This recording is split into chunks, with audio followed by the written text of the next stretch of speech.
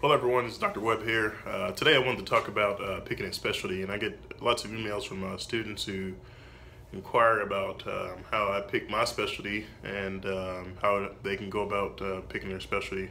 Um, I didn't decide on orthopedics until the end of my uh, third year, close to my fourth year. I was uh, interested in ENT and also um, urology at, at one point. And I ultimately chose orthopedics because I love working with my hands I love the constructive part of orthopedics. Uh, we patient comes in with a fracture. We put a lot of the, uh, the, bones in a lot of different pieces, and we have to kind of figure out how to put it back together, kind of like a uh, puzzle. And I kind of like that. And I like the uh, tools that we use in the operating rooms: drill, saws, hammers, uh, screws, nails, and also the people. to uh, pick your specialty, I think you have to find out what you're passionate about. Um, I kind of break it down in two different pathways, either a pathway of uh, surgical or medical. So if you uh, like to do more thinking, um, nephrology, internal medicine, uh, radiology, uh, those might be specialties for you. But if you love working with your hands, um, I think in surgery, either general surgery, ENT, urology, uh, surgical subspecialties, I think would probably be best for you.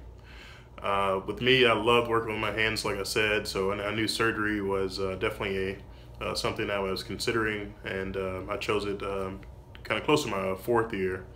I think it, to do well, to get into your specialty, you need to do well on um, your first and second year uh, courses.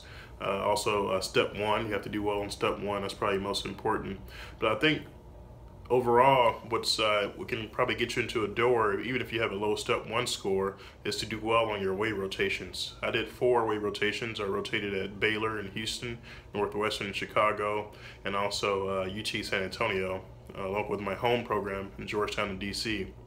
And I think uh, even most programs will probably agree with me when, they, when I say this, that a program would most likely accept a applicant with a uh, substandard uh, step one score who works their butt off, who's a hard worker, gets along with everyone, and um, I think a program will consider you um, if you do have a low step one score, but you're a hard worker.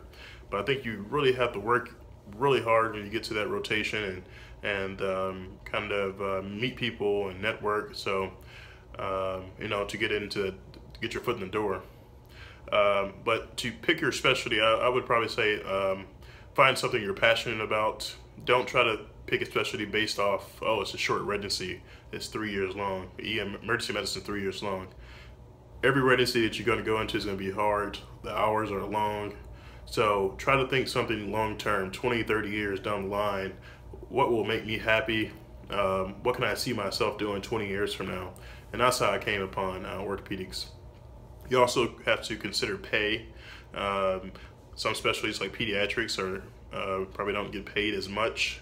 Other specialties such as neurosurgery, or orthopedic surgery, you can um, get a job right out of residency making 600, 700, 800,000 dollars a year. So uh, you have to consider pay and also uh, take into consideration prestige. Um, if you want something very prestigious, I wouldn't do it just for the prestige, but uh, that's also something that you have to consider.